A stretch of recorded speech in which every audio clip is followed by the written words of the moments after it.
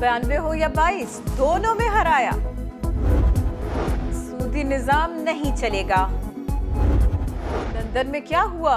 Meeting, खाना और गपशप जानिए ये सब और बहुत कुछ नौ बजे के बुलेटिन में देखते रहिए समा।